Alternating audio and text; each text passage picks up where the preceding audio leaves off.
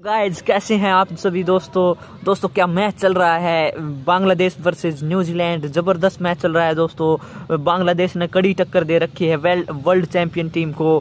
दोस्तों, बांग्लादेश ने जो मैच खेला है दोस्तों, ये मैच जीत भी सकती है बांग्लादेश।